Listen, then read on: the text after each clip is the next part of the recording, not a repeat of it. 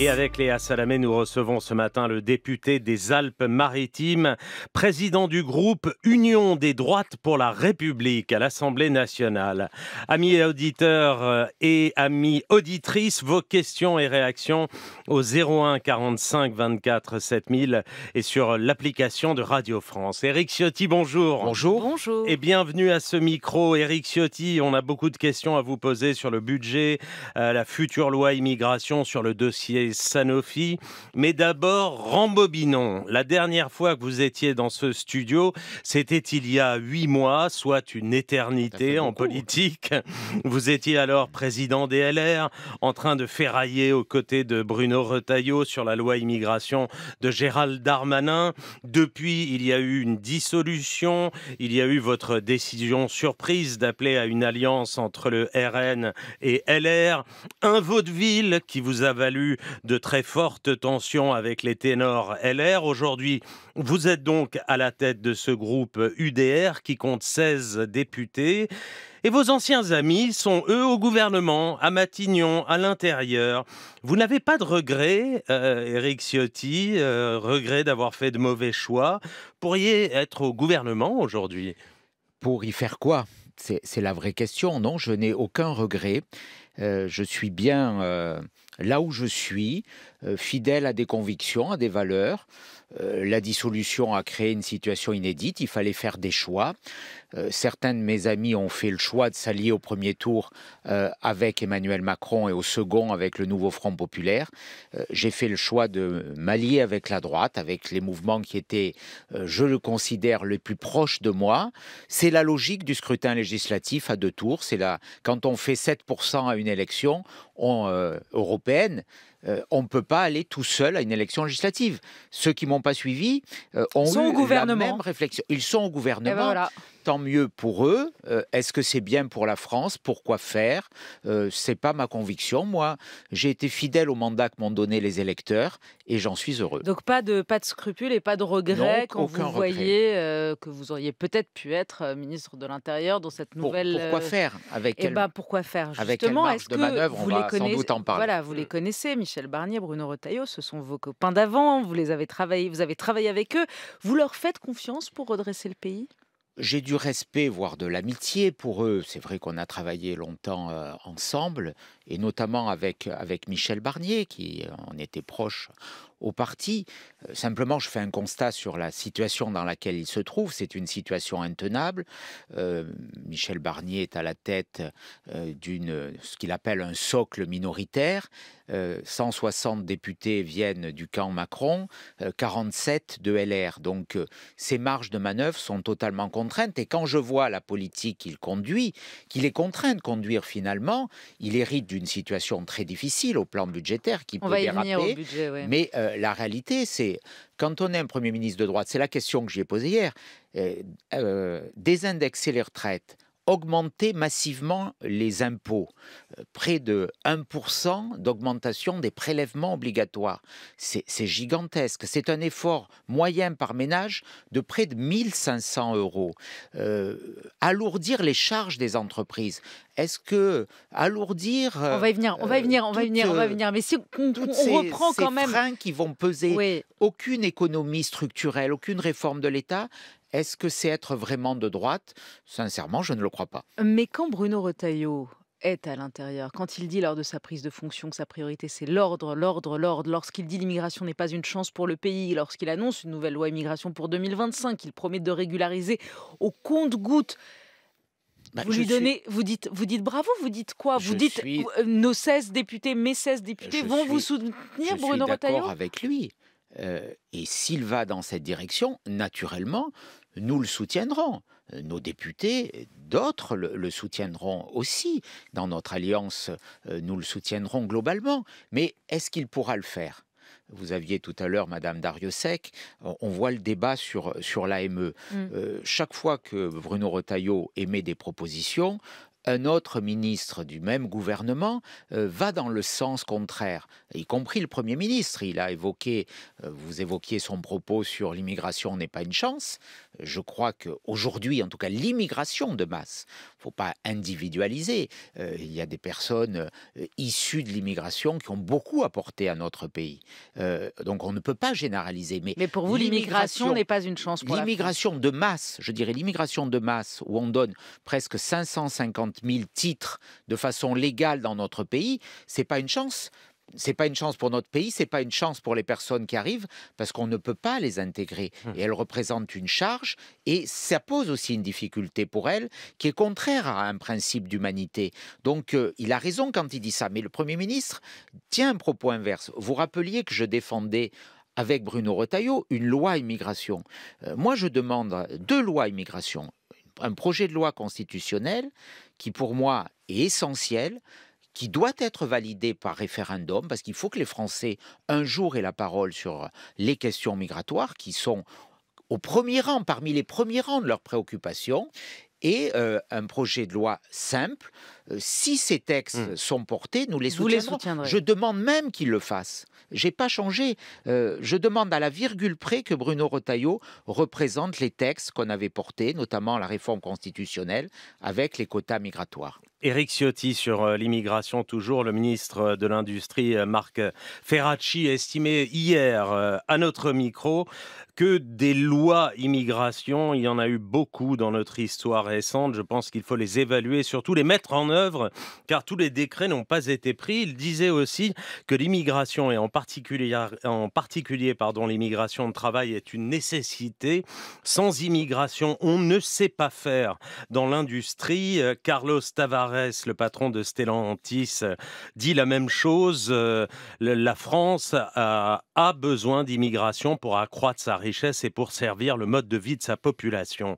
Euh, propos, vous en pensez quoi? Bah, D'abord, un, ça fait partie des contradictions que je soulevais à l'instant. Euh, ce que dit M. Ferracci est totalement à l'inverse de ce que dit M. Rotaillot. Donc, quand on est dans le même gouvernement, euh, il faut qu'ils se mettent d'accord. Moi, je ne suis pas au gouvernement. c'est au Premier ministre de, fixer une ligne. Mais il y a une forme d'en même temps euh, exacerbée. Euh, bon, c'est du macronisme. On dit tout et son contraire, et au final, on fait rien. Euh, moi, sur, sur le fond, je suis en désaccord avec ce que dit M. Ferracci. Quand on a un nombre de demandeurs d'emploi inscrits à Pôle emploi qui, qui tangente toujours les 5 millions de personnes, on ne peut pas dire qu'on a besoin d'une immigration de travail. Il faut mieux former euh, ceux qui sont sans emploi, il faut les orienter vers les métiers de l'industrie. C'est ce que dit le MEDEF aussi, hein, c'est pas que Marc Ferracci, oui, mais hein, vous savez, vous avez un ben, désaccord avec le MEDEF sur cette question J'ai toujours eu le même désaccord.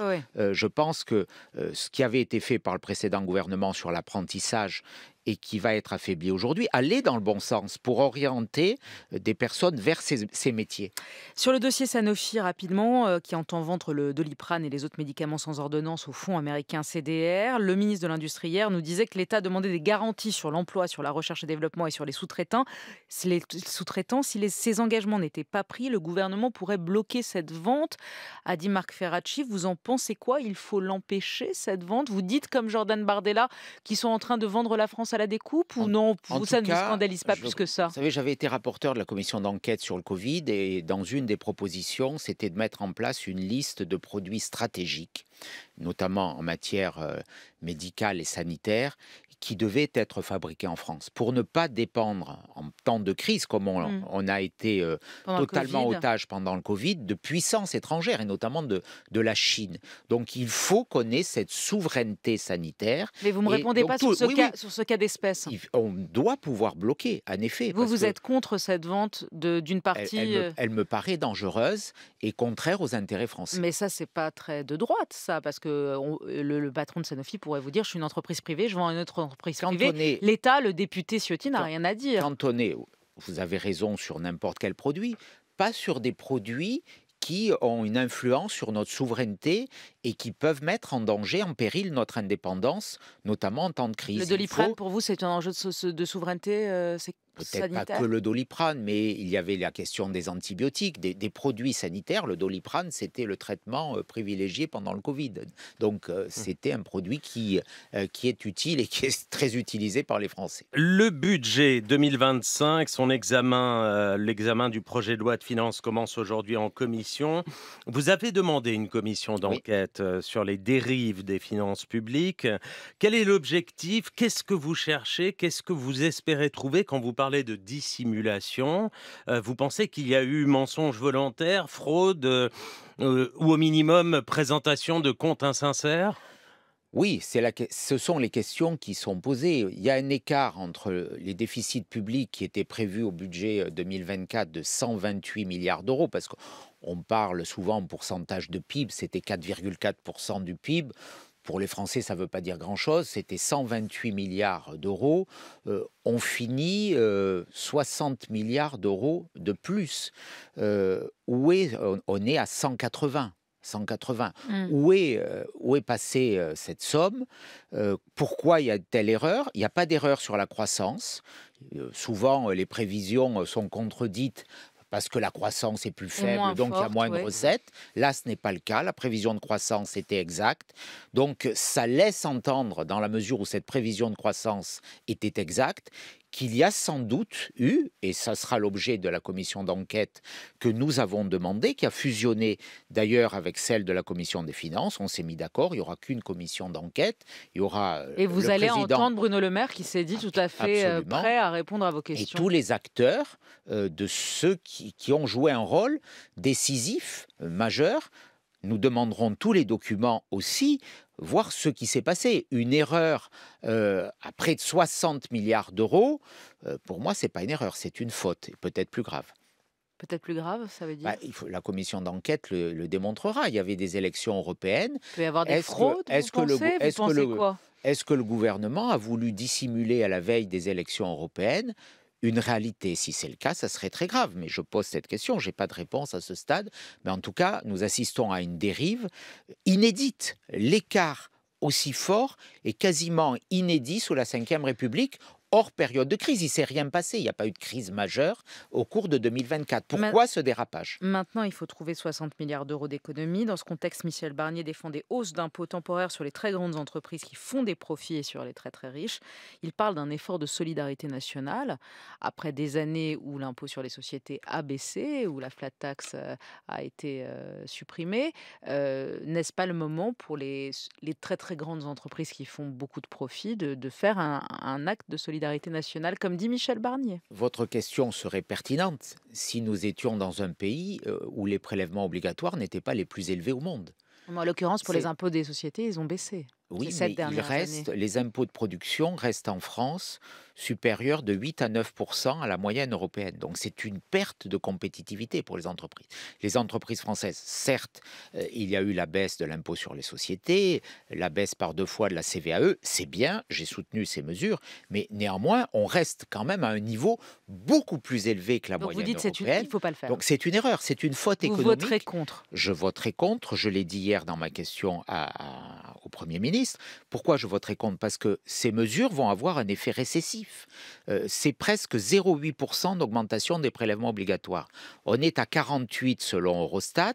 C'est euh, le premier rang des pays de, de l'OCDE, des pays de l'Union européenne naturellement. Donc on a ce record du monde. On gagne chaque année la Coupe du Monde des impôts. On ne peut pas charger un peu plus la barque parce que, vous savez, selon le principe de la courbe de l'affaire, l'impôt tue l'impôt. Plus on va prélever, ça va casser la croissance et mmh. on, aura moins de recettes fiscales. Donc ça sera une forme de double peine. Et vous voterez contre cette mesure-là ou vous voterez contre tout le budget? Aujourd'hui, le budget tel qu'il est, on va essayer de le modifier. On a des amendements, euh, ne me convient pas. C'est pas un budget courageux. Vous avez parlé de budget socialiste. Parce que quand euh, on Michel Barnier, Michel Barnier, socialiste. Bah, vous savez, quand on augmente les impôts c'est pas moi qui le dis, c'est le Haut Conseil des finances publiques, de plus de 30 milliards d'euros. Et ça, ce sont des mesures qui ne sont pas virtuelles. Les économies, elles sont virtuelles. C'est une espérance. Euh, les hausses d'impôts, elles sont réelles, concrètes et elles vont s'appliquer. Et je le dis, c'est en moyenne 1500 euros par ménage, 13 milliards pour les entreprises.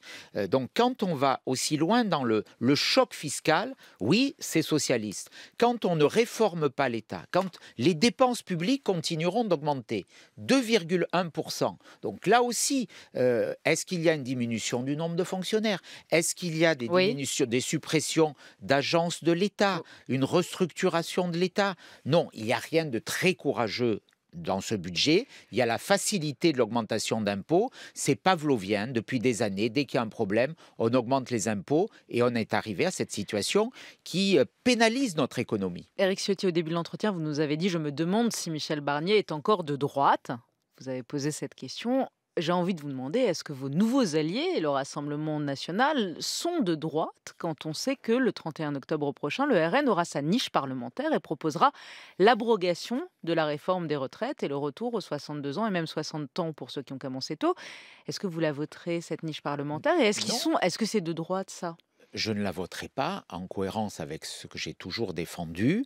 Vous savez, on a euh, bâti une alliance, j'évoquais le contexte de cette alliance, elle est solide et durable. Et euh, je la revendique et je me battrai pour qu'elle soit maintenue parce que nous avons besoin de, de l'union de tous ceux qui veulent que la France sorte, de l'ornière. Mais nous avons des différences parce que si je n'avais pas, si je n'avais pas des, c'est des différences qui sont notables. Si je n'avais pas de différence, je serais au Rassemblement national. Vous avez noté que je ne le suis pas. Je suis président de l'UDR entre parenthèses, qui est un parti qui désormais a plus d'adhérents que Renaissance. donc c'est pas c'est pas rien en un mois, en un mois à peine. Et donc, sur les questions économiques, euh, nous avons rapproché nos points de vue pendant la campagne législative dans la plateforme. Il reste des nuances. Il y en a. Il y en a Sébastien Chenu, Sébastien Chenu du Rassemblement national parlait de votre vote sur cette question-là, sur la niche parlementaire. Et il disait, je crois, au bout du compte, que les élus d'Eric Ciotti voteront l'abrogation de la réforme des retraites. Vous lui dites non, on la votera pas. Non, nous, nous ne la voterons pas. Et je l'ai dit euh, très clairement à, à Marine Le Pen et il n'y a, aucun sujet là-dessus parce que le propre d'une alliance, euh, quand on a deux partenaires, euh, si on est allié, c'est qu'on a des différences. Et moi, je considère que l'évolution démographique, le, rapport entre les retraités et les inactifs, le vieillissement de la population, euh, conduit à ce qu'on maintienne cette réforme. Elle était loin d'être Pour vous, abroger, pardonnez-moi, mais pour reprendre vos termes, abroger cette réforme des retraites comme le souhaite le Rassemblement national, c'est socialiste? Non, je ne sais pas si c'est socialiste. En tout cas, euh, personnellement, moi, je souhaiterais qu'on améliore la réforme des, retraites. Il y a la question des carrières longues, et là je suis d'accord avec le Rassemblement national. Euh, il faut qu'on aille plus loin parce que c'est pas normal que quelqu'un qui a travaillé très tôt euh, porte ses efforts, surtout dans les métiers où il y a une grande pénibilité. Ça, c'est un vrai sujet. Et ensuite, moi, je suis pour qu'on améliore le système global, qu'on introduise notamment une dose de capitalisation, euh, qu'on garde le système, le socle de répartition, il est essentiel, mmh. mais qu'on mette aussi, comme c'est le cas dans la fonction publique, une petite dose de répartition. Comment ça va avec le Rassemblement national et avec Marine Le Pen euh, Parce que quand ils ont fait leur grand meeting de rentrée il y a deux semaines chez vous à Nice, ils ont oublié de vous inviter Qu'est-ce qui s'est passé? Rassurez-vous, euh, été invité. Nous nous sommes vus d'ailleurs à Nice de façon très, très sympathique et très amicale. Mais vous n'y étiez pas au meeting Il n'y a, aucun sujet, oui, parce que c'était la rentrée du Rassemblement national. Je ne suis pas au Rassemblement national. Il y a des différences. Vous savez, mon parti s'appelle l'UDR, euh, Union des droites, vous l'avez rappelé. Euh, ça, c'est un fait générateur marquant, mais l'UDR, c'est aussi le parti du général de Gaulle. C'est mon histoire, c'est ma famille personnelle, et j'y suis fier, j'y suis attaché, et c'est finalement ma, mon double ADN. Allez, on passe au standard d'Inter. Angelo, bonjour. Bonjour France Inter, bonjour Monsieur Ciotti. Bonjour. Alors, moi je suis athée, j'habite dans une république laïque et j'en suis bien content. Je voulais savoir si vous étiez d'accord avec la déclaration de Marine Le Pen selon lequel le voile est l'uniforme de l'islamisme et le projet du Rassemblement national d'interdire le voile je précise sur la place publique, étant, entendu que moi, dans l'enceinte scolaire, je suis pour aucune représentation religieuse. Mais là, il y a quand même quelque, quelque chose d'important, puisque moi, je suis athée, république laïque, donc on ne privilégie ni n'ostracise aucune religion. Mhm. Il y a des femmes qui portent le voile par choix. Hein. Et comment, comment on peut faire valoir un projet pareil et être en accord sinon que donner raison aux gens qui n'arrêtent pas de Mhm. crier à l'islamophobie à tout va, et là, ils trouveront un, un pont d'or pour le faire. puisque- Merci, merci Angelo pour euh, cette question. Eric Ciotti vous Oui, répond. D'abord, une, une petite remarque. Vous dites qu'il y a des femmes qui portent le voile par choix. Peut-être, mais il y en a beaucoup qui sont contraintes. Et permettez-moi de, penser à ces femmes qui, euh, qui luttent euh, et qui sont euh, menacées dans leur vie en Iran euh, parce que justement, elles veulent enlever le voile. Donc, euh, je ne pense pas que ça soit dans le pays des libertés un, un signe de progrès que, que défendre euh, ce qui est quand même un instrument de, de soumission pour la femme au moment où, où, où on porte ce combat pour, pour l'égalité, pour la liberté. Euh, je, je y vois, j'y vois une forme de, de recul. Euh, Et sur l'interdiction dans l'espace public moi, je suis, je l'ai toujours défendu, je suis pour l'interdiction des signes religieux dans les espaces de service public. Donc, vous savez, dans les services publics, c'est constitutionnel, il y a la neutralité pour les agents. Je pense qu'il doit y avoir aussi la neutralité pour les usagers, parce qu'on ne peut pas imposer euh, dans, dans un lieu euh, de service public au guichet euh, d'une administration, par exemple, ses appartenances religieuses. Donc vous voulez qu'une ma- femme qui ma va à l'hôpital, une femme qui va à l'hôpital public doit retirer son voile, c'est ce que vous dites? Je, je pense que c'est un des lieux, en effet, où cette neutralité doit s'imposer.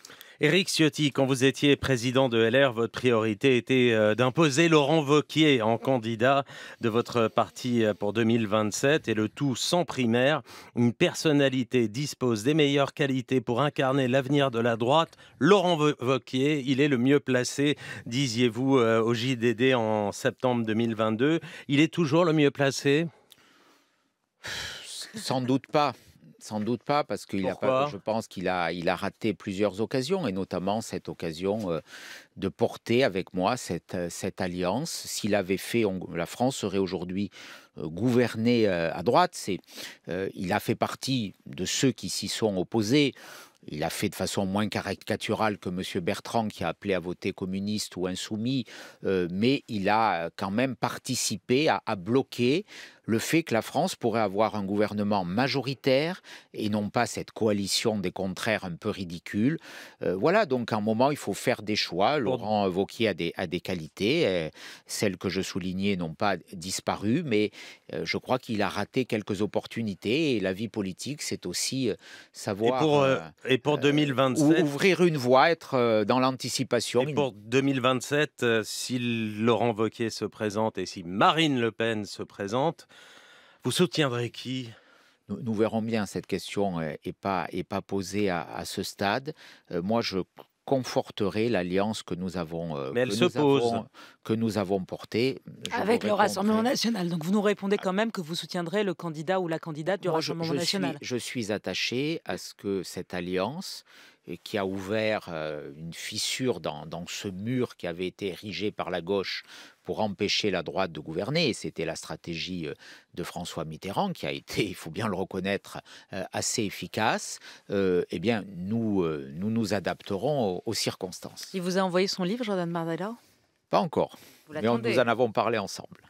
Merci. Merci Eric Merci à vous. Ciotti, président d'Union de l'Union des droites pour la République, l'UDR. Merci d'avoir été au micro d'Inter.